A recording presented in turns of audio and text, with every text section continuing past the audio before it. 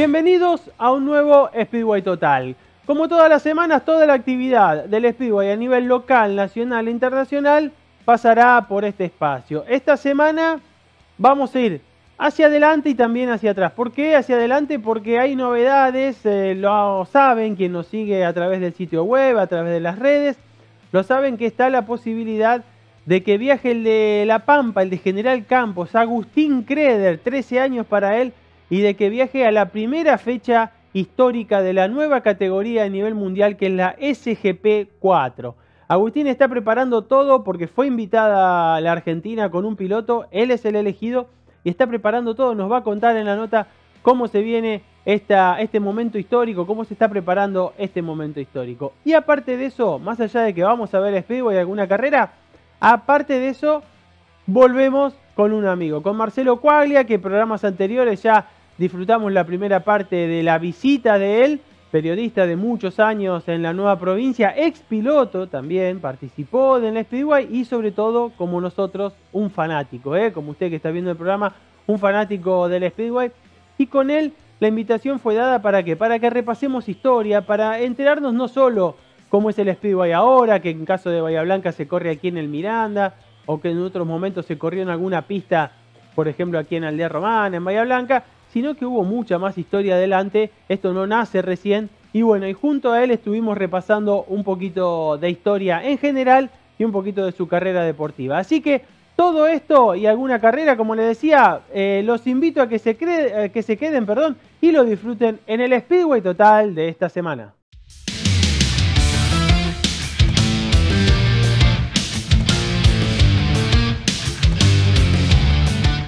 Cuando andás en moto, ¿pensás en lo importante que es usar el casco? En un accidente, la cabeza es la parte del cuerpo que más puede golpearse y se sufren daños irreparables. En la mayoría de los accidentes, el casco sale volando. Ajustalo. Si lo tenés mal colocado, es casi como no tenerlo puesto. Usá siempre el casco. En Bahía, nos cuidamos entre todos. Cantera propia. 18 camiones trabajando para usted. Bombeo a distancia. Hidrogrúa. Planta automatizada. Fernández y Fernández. La excelencia del hormigón elaborado.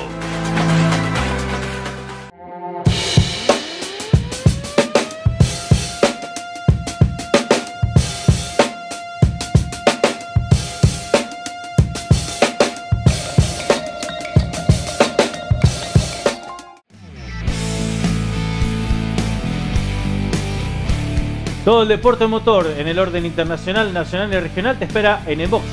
Todo el análisis, las polémicas y todo lo que deja un fin de semana de actividad del deporte motor. Te esperamos en Boxes, 22 horas todos los martes.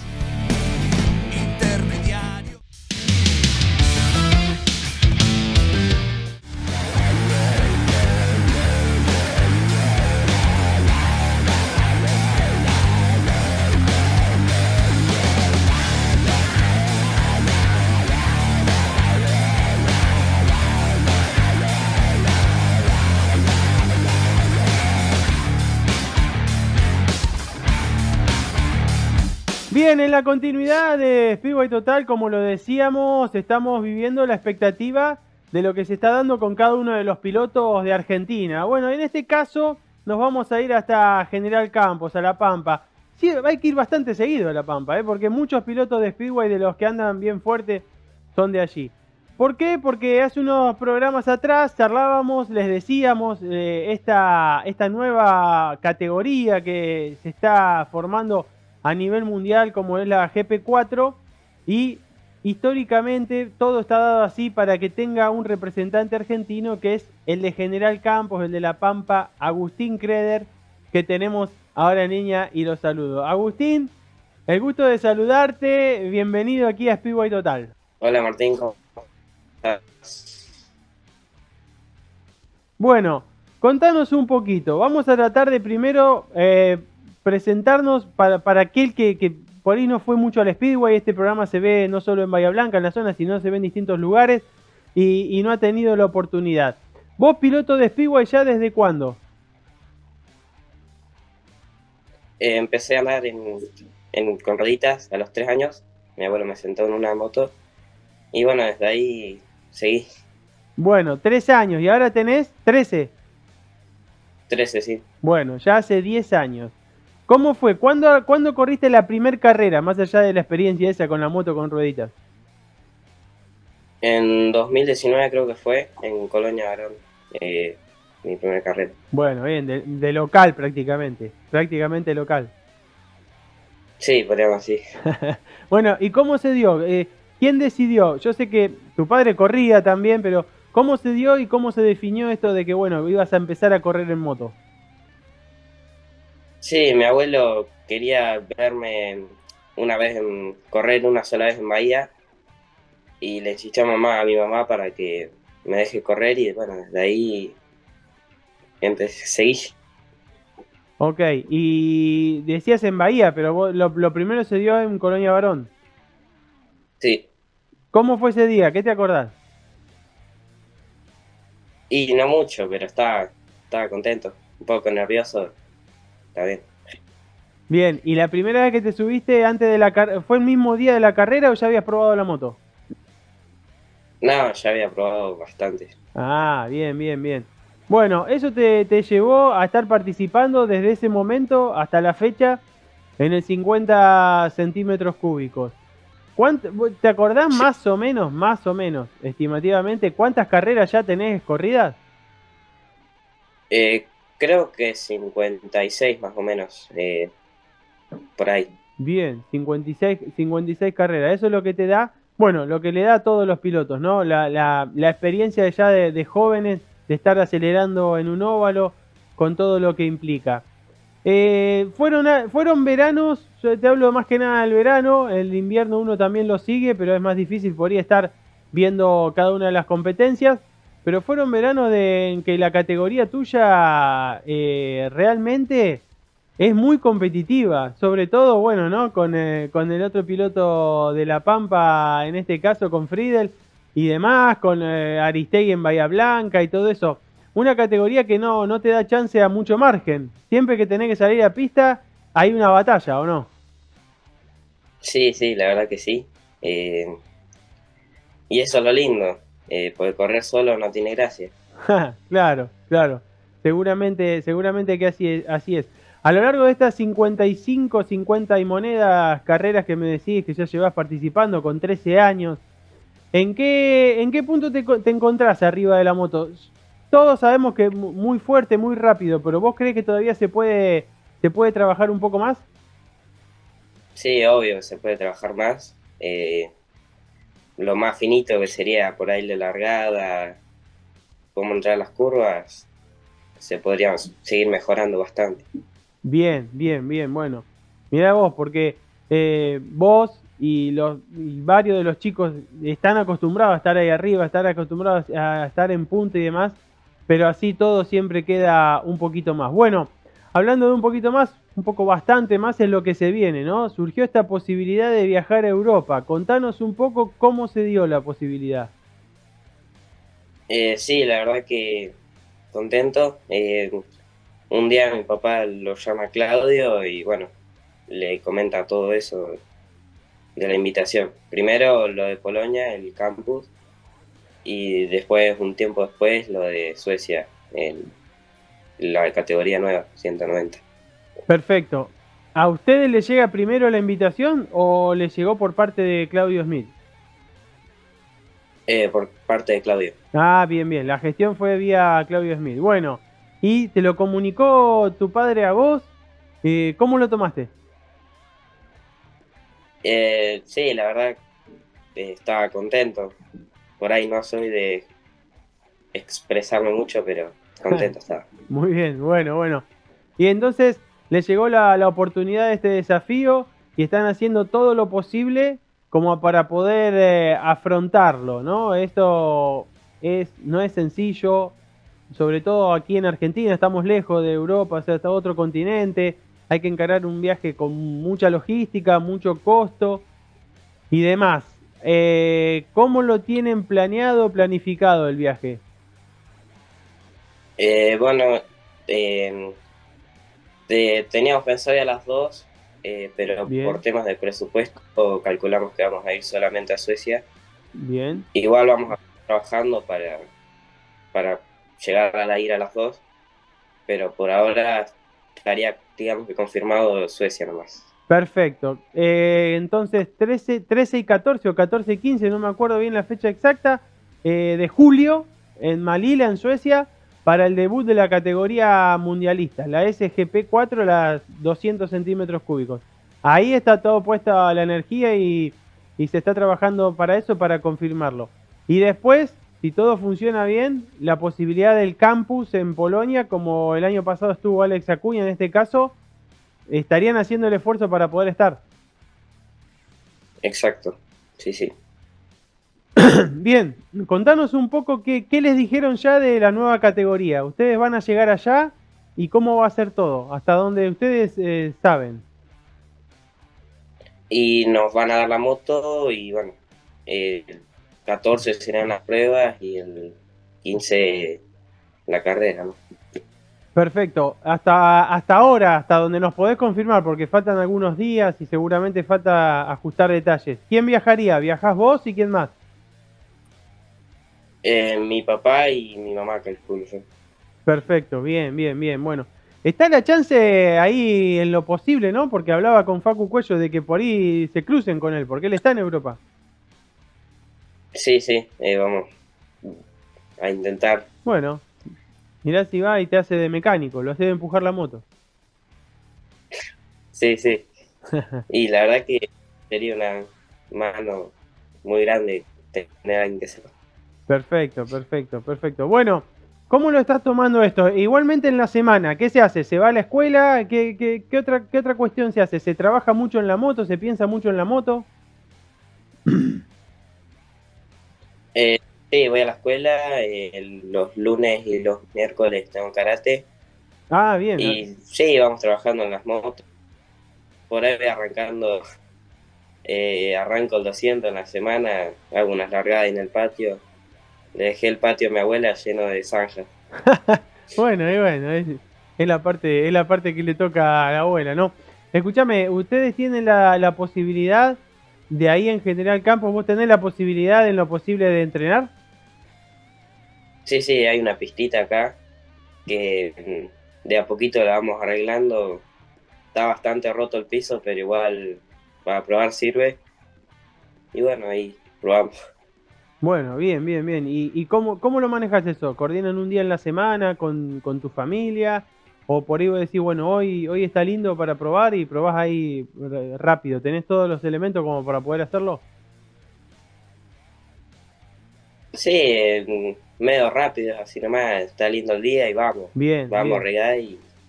Bien. O sea que a veces capaz que en la semana, dos más de un día podés entrenar. Sí, sí. Eh, por ahí en el verano donde estaba, teníamos que poner todo, digamos, y íbamos casi todos los días, porque las motos por ahí no, no andaban y teníamos que estar probando casi todos los días. Perfecto, perfecto, perfecto. Bueno, eh, nada, Agus, queríamos charlar con vos, queríamos un poco que la gente te conozca, que la gente sepa, se interese de que Argentina va a tener eh, un piloto más representando al país en esta, en esta ocasión en un momento histórico, como va a ser la primera fecha del Speedway Grand Prix 4. Estoy, no, no, no tengo certeza de si se va a televisar, pero estoy casi seguro que algo, si no, si no se televisa, sería muy raro porque o por lo menos diferido, pero se va a poder ver porque es un momento histórico para la categoría y sobre todo para la, para la FIM en este caso, que es la que está apostando a esta nueva categoría. ¿Qué estás haciendo como para juntar presupuesto? ¿Qué se puede hacer para el que quiera colaborar para que se pueda dar tu viaje de la mejor manera? ¿Hay algo, hay un, no sé, un número de WhatsApp, una red social, algo donde la gente se pueda comunicar?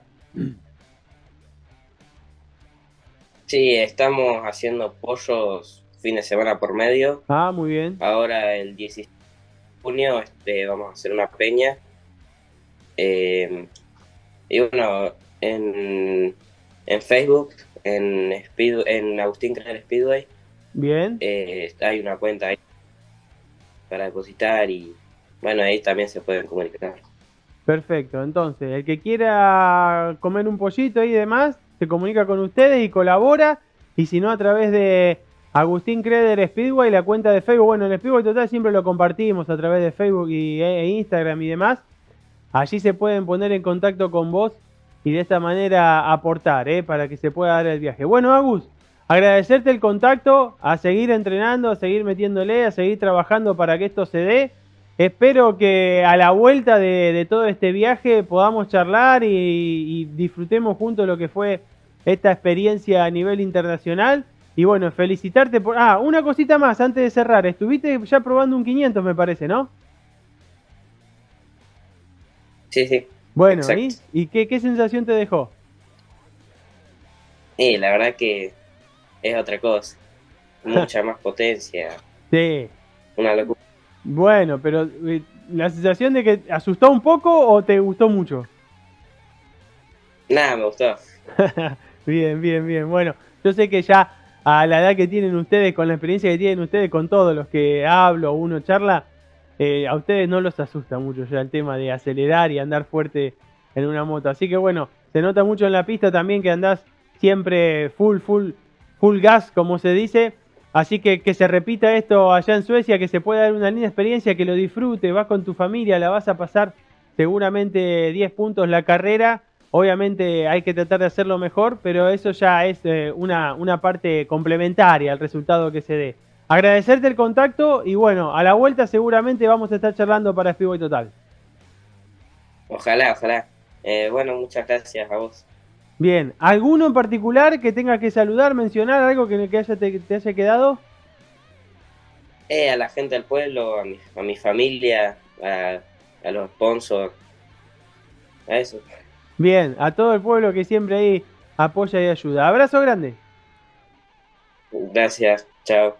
Bien, ahí pasaba, ¿eh? Agustín Creder, 13 años, va a estar en Suecia el fin de semana del 14 de julio como primer piloto, como a ver, como piloto argentino en la primer carrera en la historia de la categoría SGP 4. No quiere saber nada la máquina de Valentino Danilo. Se puso en marcha la final de 50 mayores. Y se viene la definición. El brujito Friedel adelante. Le abre por afuera ahora Martín Aristegui. Se quiere prender. El rusito Kreder también en la pelea de General Campos. Buscando la chance de entrar en la pelea. Buscando la chance de codearse con el título también. Pero el brujito sale acelerando buscando la rivalidad. Va Kreder por adentro. Va Kreder por adentro. Está el rusito adelante. Y se mete segundo Aristegui. Lo dejaron tercero el brujito Friedel qué tremenda carrera de 50 mayores, una definición apasionante. Se complicó ahora Aristegui y lo llevó también un poco afuera al brujito Friedel. Adelante Kreder, adelante Kreder acelerando. Segundo Aristegui, tercero Friedel. Se viene una definición bárbara de 50 mayores. Me parece que por ahora las matemáticas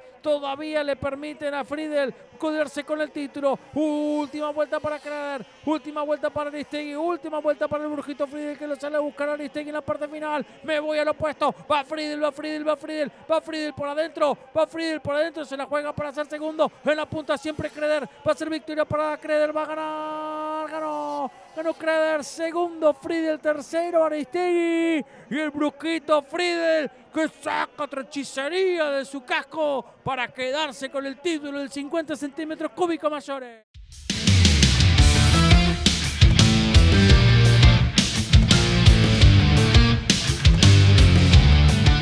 Cuando andás en moto, ¿pensás en lo importante que es usar el casco? En un accidente, la cabeza es la parte del cuerpo que más puede golpearse y se sufren daños irreparables. En la mayoría de los accidentes, el casco sale volando. Ajustalo.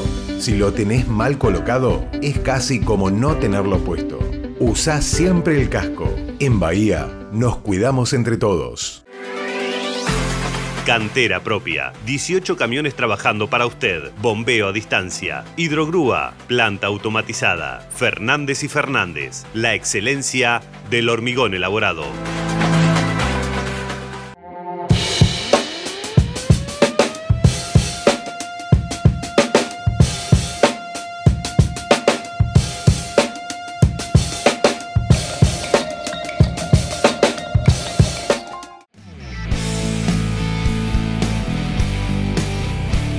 Todo el deporte motor en el orden internacional, nacional y regional te espera en el.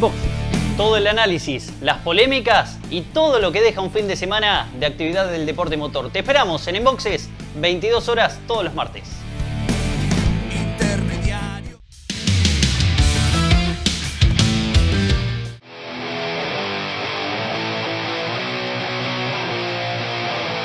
Empezamos a parecernos más al Speedway de afuera. Bueno, ¿qué fue la llegada de todos esos en cuanto a, a- a lo que ya veías en la pista? Porque había tanta diferencia, por ejemplo, entre el argentino y el extranjero, o más o menos vos podías ver cierta cuestión que había buenas batallas con ellos. Eh, siempre el interés estaba en ver no ya quién le podía ganar a los extranjeros, sino quién se le acercaba más. Claro, Porque era como una quimera pretender que pilotos profesionales que venían de correr durante Sí. mucho tiempo, toda una temporada profesional, profesional. en Europa, venían acá a tener una continuidad de entrenamiento con este, pilotos que a- aficionados, aficionados con- que estaban parados todo el, Sí.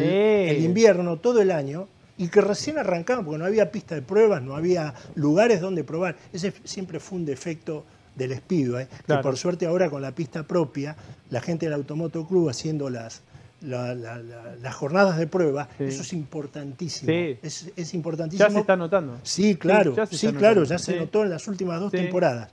Este, y eso en esa época no había. Entonces, cuando el piloto argentino empezaba a, a, digamos, a romper el hielo, sobre el final de la temporada recién agarraba viaje y ya se terminaba el campeonato. Claro, Entonces, claro. era muy difícil. Después, Claro. Con el paso de los años, vinieron pilotos extranjeros de diverso nivel. Claro, y ahí sí. Muy bueno, bueno y algunos regulares. Y con los regulares más o menos, pero eh, les servía mucho al piloto para medirse, para Tal cual. medirse y elevar la vara. Y además, sobre el público generó el efecto de no poder dejar de ver un extranjero en la pista. Sí. Me parece que una situación análoga como ocurrió con el básquet. Una Claro, vez que en el básquet sí. vinieron los, los, los- los, eh, jugadores norteamericanos, los, los- los grandes basquetbolistas, Sí. y ya no pudo dejar de haber, Y dejar no. de haber este, em, y dale con pilotos, jugadores extranjeros. Claro. Y lo mismo pasa en el Speedway. Hoy no se concibe una temporada sin, sin pilotos extranjeros, porque eso mantiene la vara alta y además los pilotos locales, hablo de los argentinos en general, Sí. no solo los No, no. mayenses, se, se- se han llegado a medir y a ganarles. Sí. ¿eh? Sí, Así a- que A mí me ha pasado de hablar con pilotos que me han contado, ¿no? Ya retirados, pero eh, decir, mira, yo en ese momento le gané una serie a tal extranjero y yo pensé que si iba a Europa salía campeón del mundo. O sea, eh, a ver, porque obviamente cuando uno ve, dice, bueno, este viene de cierto nivel y vengo y le gano, uno se entiende de que puede estar ahí arriba. Después no, después me, mismo me dijo, cuando después fui a Europa y vi algunas cosas, no, no corriendo, pero vi algo- me di cuenta que no, le podía ganar de local, con yo mi mecánico, mi moto, todo, y él venía a entrenar, y por eso se la gané. pero bueno, ¿no? Pero bueno, eh, genera una motivación en el argentino también, medirse con el extranjero y ver que está ahí, está, está como para poder batallarlo y demás, que creo que termina alimentando en el buen sentido. No desmotiva, sino al revés. Te termina motivando. Decir, bueno, en la serie que viene largo contra este y, y ves que estás ahí a la par o se la ganás. Eso termina incentivando al piloto. Por eso eh, está bueno que siempre haya extranjeros, sí. Está bueno que haya muy buenos, sí, pero que a alguno se le pueda dar batalla, ¿no? Yo creo que con el tiempo lo fuimos aprendiendo, porque antes no se aceptaba que venga menos que Davis, menos que Marzotto, menos que Castaña. Bueno, ahora que el que venga está bien, me parece a mí. Sí, eh, mirá, en, en algunas temporadas se generó, por ejemplo, recuerdo una que creo que solo vino eh, John Davis en tiro federal. Tiro. Y el problema era que lo que decíamos, corre solo, Claro, corre solo. corre Sí. solo. Y sí, había gente que me decía, ah, pero para mí es un placer ver dar la- las, la- las cuatro vueltas a John Davis. Seguro. Sí, pero corre solo. Mucha otra gente decía, pero y yo quiero, no quiero ver un piloto solo. Una yo quiero ver una carrera Ah. Speedway con pilotos peleando. Entonces se dio eso. Entonces con los pilotos extranjeros de diferente nivel, sumado a los argentinos, que había, como hay ahora, de mayor nivel, entonces se mezclaba más y genera eso que vos decís de incentivo para los pilotos, que a su vez es eh, le insufre interés a, a la tribuna, al aficionado, Sí. porque ve que sus representantes, sus amigos, sus parientes, los chicos de su ciudad o con nacionales, se pueden mezclar y ganarle a los extranjeros. Eso se genera porque la pista es muy fácil. Claro. Es, y está bien que así Y sea. está porque, bien, porque sí, la pista tiene que ser que fácil ser para, fácil, los, para sí. los pilotos de acá, Sí. para poder medirse con los extranjeros y generar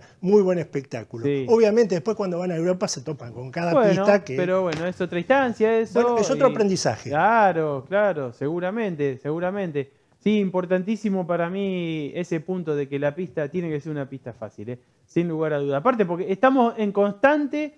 Eh, Argentina eh, ha- hace bien y mal en compararse con Europa en muchas cosas, eh, hablado de Speedway. Eh, nosotros durante la fecha estamos con muchos pilotos adentro de la pista en constante aprendi- aprendizaje. Que en Europa no pasa. En Europa cuando corre la carrera, sea de club, de la eliminatoria, de lo que sea, ya los pilotos que están ahí no están aprendiendo nada. Son todos que van fuerte. Y el aprendizaje lo hacen otro día. Las categorías menores, todo. Entonces, bueno, nosotros tenemos que mezclar todo ese día. Entonces, tiene que ser fácil la pista, sobre todas las cosas. Eh, en ese momento llega Davis, bueno, yo me acuerdo, no sé, eh, Tania Yo, que los nombres que me acuerdo de haber ido a ver el tiro yo, eh, eh, bueno, me acuerdo de Armando Castaña, de todos esos, y hay más que no me los estoy acordando ahora. ¿Se diluye un poco el tema Punta Alta Bahía Blanca y todo eso? ¿Pasa a ser Argentina contra el resto del mundo?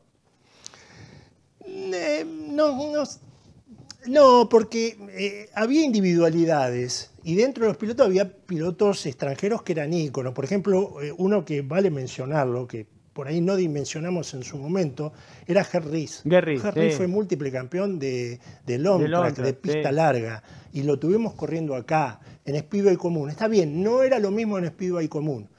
Pero a nivel era- extranjero, acá, Acá. era una locura. Sí. Marcel Gerard Sí, era Marcel. otro, que además lo que sabía de motores, bueno, Sí. sabe, eh, preparador. Ese estilo colgado así, Sí, con la con la cola en moto el aire. tal Eh, cual. una Gente- que dieron Yo me muchísimo- acuerdo de él en Dublín. sí. Claro, Claro. exactamente, en Dublín.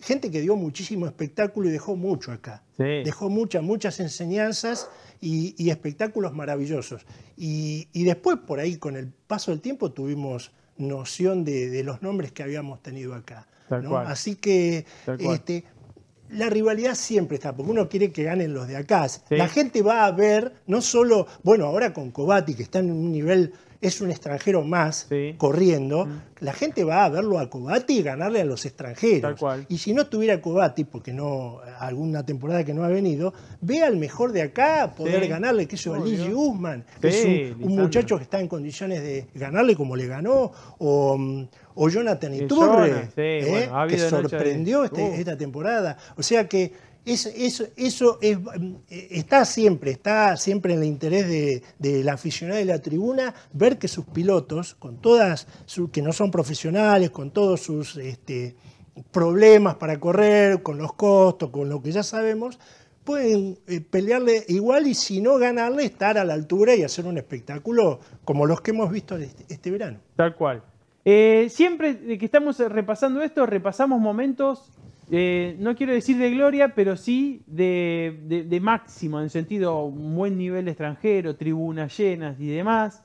Pero al ser un deporte que se practica en la Argentina, tiene sus altibajos como tenemos en este país, ¿no? Como lo tienen todos los deportes, además, porque si nos, nos vamos a otras actividades, ha pasado similar, en algunos casos ha pasado mejor o peor.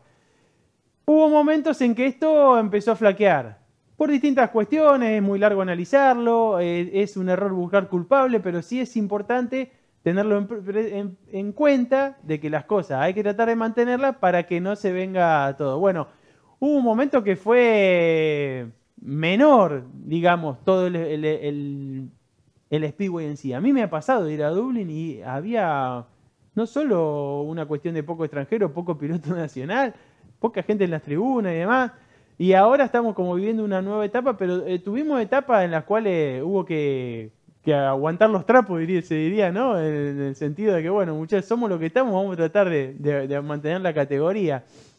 Eh, yo lo, lo llevo a la época Dublín, por ejemplo, ¿no? Porque hubo una transición, hubo que irse de tiro federal, Sí. hubo que visitar Dublín y capaz que en esa transición se, se perdió, se terminó perdiendo bastante. Esto para recordarle a la gente que esto no nació ahora, sino que tuvo un impasse ahí, una división, porque la época Dublín tuvo, tuvo noches buenísimas. Yo me acuerdo noches de Armando Castaña contra Poti Sánchez. Sí, Poti fue una referencia también, sin lugar a dudas. Mm. Eh, lo- yo lo vi correr a Gerard ahí en esa pista, también en Dublín, o sea, hubo al- a- a niveles altos y hubo un momento que medio se difuminó todo y se perdió todo. ¿Por qué? ¿Por qué lo traigo esto? Y vos por ahí vos vas a poder contar lo que fue alguna temporada, cubrir Dublín, vos lo, hacías laboralmente. Sí, claro, sí, sí, sí. sí. Eh, para tener presente de que la, valoriza más quizá la actualidad, ¿no? Sí, bueno, el factor económico, los, los, los altibajos en la economía del país que hemos tenido a lo largo del tiempo y seguimos teniendo, bueno, ha repercutido en una actividad del deporte motor donde todo es importado. Todo. Y donde... hasta, el, hasta el piloto, porque en, algunos casos hay que traer al piloto de afuera Exactamente. para hacer el campeonato. Exactamente. Y al piloto había que pagarle en dólares, eh, en fin, eran otros tiempos, ahora se maneja de otra manera. Pero además de eso, este, surgían cuestiones eh, en la economía y también en la dirigencia, distintos este, sectores, y por ahí hubo la época de la decisión cuando se eh, fue a correr a, la pista del club millista y una parte se quedó corriendo en Dublín. Y bueno, ganó, fue como una pulseada. Bueno, eh, tuvo que aflojar Dublín y llevarse todo a la pista del club millista, porque eh, había cuestiones dirigenciales que habían quedado. Es como decimos, no vale la pena analizar si esta fue buena, esta fue mala. Como en todos los aspectos de la vida y le pasa a los pilotos, se hicieron cosas buenas y se cometieron errores. Todos hicieron cosas buenas o con buena intención y todos cometieron errores. Este, y bueno, y eso redundó en perjuicio de la categoría. Lo que sumado, porque el espíritu dentro de todo se superpuso a, los problemas económicos del país. Yo me acuerdo en la época que corría Luis Vallejo en tiro federal, también estábamos con una hiperinflación. Claro. O sea, conseguir una cubierta de atrás era una quimera, bueno, y sin embargo se hizo la temporada y se hizo buenas temporadas y, y el Speedway corrió. Pero en esas cuestiones dirigenciales, en esas decisiones, por ahí perdió el, deporte, ¿no? La actividad se vino abajo y, bueno, y languideció. Lo que tiene de bueno el Speedway, que como lo ha demostrado ahora y con gente que está haciendo las cosas muy pero muy bien, el Speedway siempre resurge. Tiene material para resurgir, hay material para resurgir. Eso sí, eso ¿Mm? sí, eso sí, y es más, eh, uno lo escucha cada vez, lo oye, cada vez que viene un extranjero y le sorprende la cuestión del 50 centímetros cúbicos, del 200 y demás, y cómo no habiendo ligas, no habiendo tanto sponsor, no habiendo hay tan buen nivel de pilotos porque nos dicen, no, en mi país no tenemos tantos chiquitos que ya a los 16, 17 andan rápido en un 500. O sea, esas cuestiones, ¿por qué? Porque siempre hubo materia, bueno, ahora se está viendo en el 500 con los argentinos, ¿no? Hay muy, muy jóvenes pilotos, Alex Acuña, Luquita Torresi, Everan Puñani, porque ya estamos, lo, ponemos en las grandes ligas, pero siguen siendo re jóvenes. Sí, claro. Su 21 corrió el año pasado, Ever, ¿eh? y fue subcampeón atrás de Paco Castaña. ¿Eh? Ya tenemos pilotos que tenemos 15 años por delante para que sean pilotos de Speedway y lo tenemos a un nivel de competirle al piloto extranjero. Estamos con Marcelo Cuaglia que nos visita acá en Speedway Total. ¿Por qué? Porque él vivió desde el lado del periodismo, desde el lado de la tribuna, como me ha pasado a mí, como nos pasa a todos nosotros que estamos eh, siempre en la pista y en este caso disfrutando de Speedway Total. Repasando lo que es la historia de un deporte que es larguísima, que es muy amplio, pero sobre todo las cosas que a veces merece cierto análisis para valorar lo que se está consiguiendo, lo que hay que seguir trabajando y demás.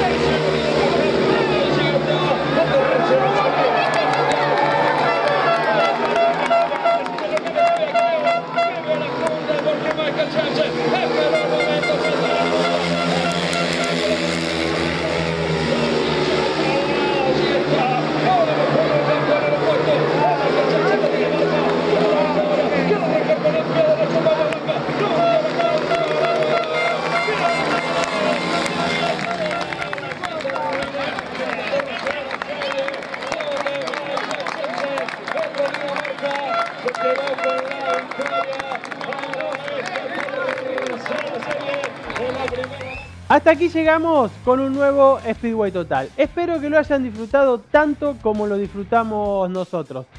Si les gustó, si realmente les gustó el programa, los invito aquí en nuestra cuenta de YouTube que le den me gusta al programa.